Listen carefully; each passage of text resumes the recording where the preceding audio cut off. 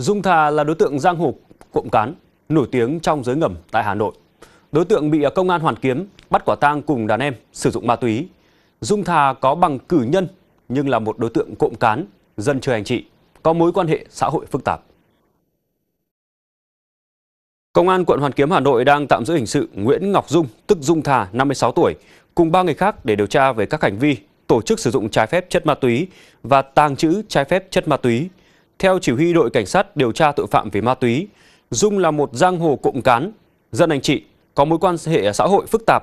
Dung là khách quen, khách VIP của các quán bar trên địa bàn Hà Nội.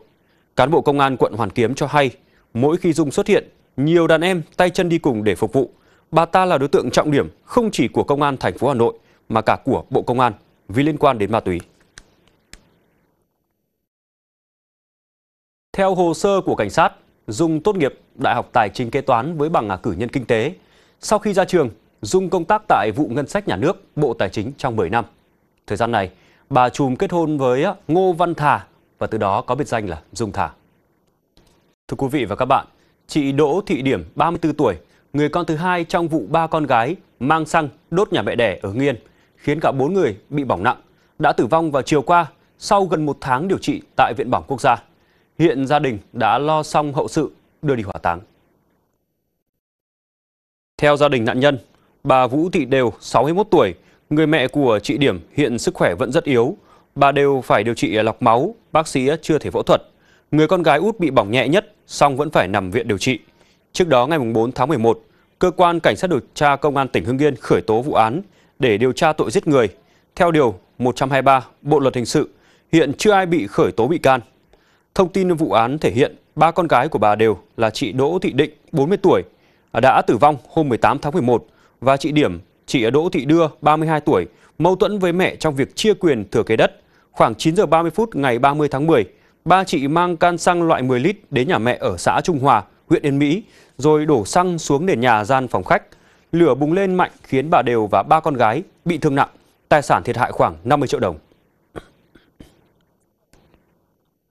Mâu thuẫn gia đình được xác định từ khi xây nhà mới khi à, cuối năm 2020, người con gái út đã gửi đơn đề nghị Ủy ban nhân dân xã Trung Hòa giải quyết về phân chia thừa kế đất đai với lý do đất đai bố để lại là tài sản thừa kế của cả ba chị em, nhưng mẹ và anh trai đã sử dụng làm tài sản riêng. Bệnh viện Đa khoa Hùng Vương tỉnh Phú Thọ vừa cấp cứu một cụ ông 72 tuổi nhập viện trong tình trạng đau đớn vì các vết thương phức tạp chảy máu nhiều, mất cảm giác tê bì đầu ngón tay không thể cử động ngón cái. Cụ bị đa chấn thương do chó nhà cắn. Nghiêm trọng nhất là vết thương tại cẳng tay trái, kích thước khoảng à, 3 x 3 cm, bờ nham nhở, lộ gân cơ, dỉ máu. Bệnh nhân được cấp cứu chống sốc, giảm đau, băng bó vết thương, tiêm vaccine phòng bệnh dại và chuyển phẫu thuật. Các bác sĩ cho biết người bệnh mất máu nhiều trên nền suy tim, nhiều bệnh nền. Ngoài xử trí vết thương, ekip dùng à, chống đông tránh biến cố tim mạch, Hiện sức khỏe bệnh nhân đã ổn định, có thể ra viện trong một vài ngày tới. Đây là một trong rất nhiều những ca tai nạn do bị chó tấn công trong thời gian qua. Một số trường hợp chỉ bị sức nhẹ, song cũng có nhiều người tổn thương phức tạp khắp cơ thể và tử vong. Bác sĩ khuyên cáo bản chất vết cắn từ động vật rất nguy hiểm, có thể lây truyền tạp khuẩn, virus bệnh dại, đặc biệt là có thể gây tử vong nếu tổn thương khí đạo mạch máu lớn vùng cổ. Người dân không nên nuôi chó khi nhà có trẻ nhỏ hoặc không để bé chơi một mình với chó. Vật nuôi cần được tiêm phòng đầy đủ, đeo dọ mõm khi ra đường, xích cẩn thận. Người bị chó cắn cần rửa sạch vết thương ngay và đưa đến cơ sở y tế gần nhất để được cả chủng ngừa dại, điều trị đúng cách. Ngày 27 tháng 11, ông Phạm Hữu Bình, hiệu trưởng trường iSchool Nha Trang có thư xin lỗi và cam kết gửi đến học sinh phụ huynh và các thầy cô giáo. Trước đó hơn 660 học sinh và giáo viên trường này bị ngộ độc thực phẩm vào ngày 17 tháng 11 Hiệu trưởng trường iSchool Nha Trang đã giả soát lại quy trình và tìm đối tác mới cung cấp suất ăn. Sau khi hàng trăm học sinh ở trường này bị ờ, ngộ độc thực phẩm, trong đó có một em tử vong. Trong thư ngoài lời xin lỗi, Hiệu trưởng nhà trường cho biết Sở Giáo dục và Đào tạo tỉnh Khánh Hòa đã đồng thuận cho trường tổ chức dạy trở lại từ ngày 28 tháng 11. Trường tổ chức dạy học một buổi và không tổ chức bán trú. Ông Bình cũng cam kết xây dựng lại quy trình, quy định an toàn thực phẩm liên quan đến hoạt động bán trú, đồng thời khử khuẩn toàn bộ trường học, đặc biệt là khu vực bếp và nơi bảo quản thực phẩm. Bên cạnh đó, trường cam kết nhanh chóng tìm đối tác cung cấp suất ăn mới có đủ giấy phép về vệ sinh an toàn thực phẩm.